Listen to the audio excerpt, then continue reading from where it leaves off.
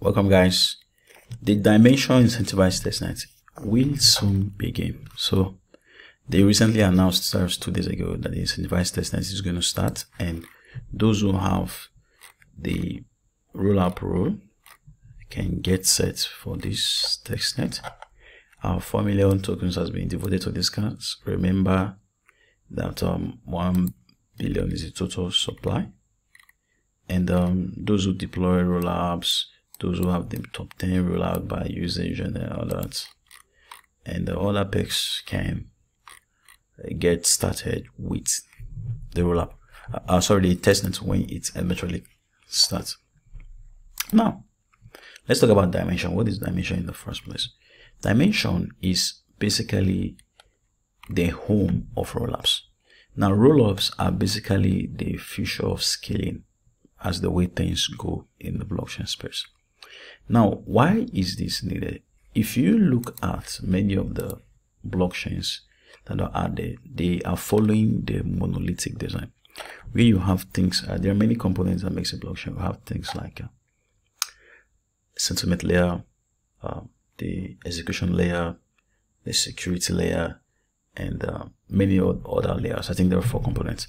Now, each of these components are fused into one. So that makes it to be inefficient. Number two is that's why you have monolithic chains where you have different stuff that are being built. You saw you see a platform like um, Celestia is just handling execution and handling uh, data availability layer.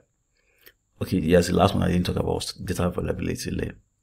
Now, that is for the uh, monolithic. Now, another thing again is why are people going the roll-up design or the option thesis? Is because, um, let's say for example you build a chain or you are building a product, a DApp. Your DApp has 10,000 users. Another person DApp has 10 million users. So just imagine 10 million users coming and filling the blockchain. So your users, that 10,000 10, of them will be constrained to pay higher fees because of the demand that is coming from an app that has 10 million users.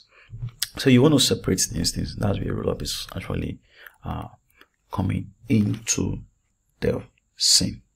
So for the rollup, um, for the Dymension, sorry, it will have something like, uh, like similar to the Cosmos SDK, which is called the RDK to develop rollups, uh, rollup development kit, and to also have uh, it will provide a settlement layer where uh, there will be things like unified security, unified liquidity, and uh, easy, seamless interconnectivity for the rollups that are deployed on it. Now remember, this is the direction many of this project are trending upon. If you go to projects like um, Arbitrum, Arbitrum has the Orbit, where you can uh, deploy, I think they call it Elite theories, which allow also rollups. Uh, OP, OP mainnet has um, OP stack where you can deploy, and then you have the likes of Base, uh, I think this project Babes, Linea, and other projects uh, building on it.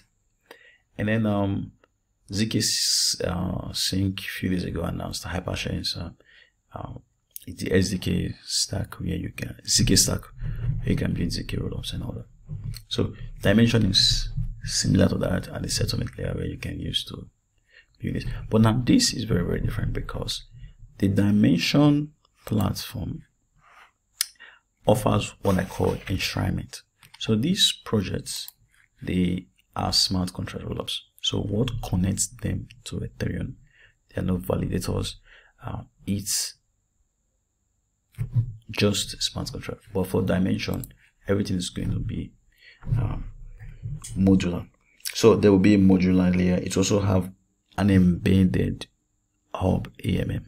So all the rollups that will be deployed on this chain uh, we have a central place where they can actually uh, swap tokens just like something that is similar to uh, the Cosmos I'm sorry um, Osmosis if you know Osmosis um,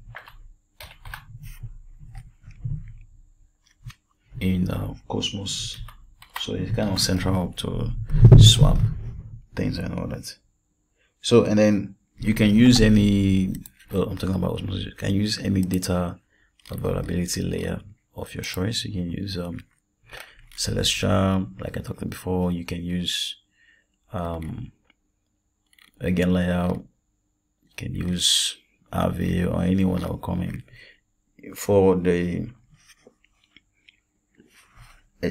any layer you can it's a modular uh, stuff. So uh, keep a tab on this project and they've raised i think 18 million dollars funding and they're building this coconut so whether you have the this row or not if you have this row good you can be part of it. If, even if you don't have this row uh, you can still test out the project.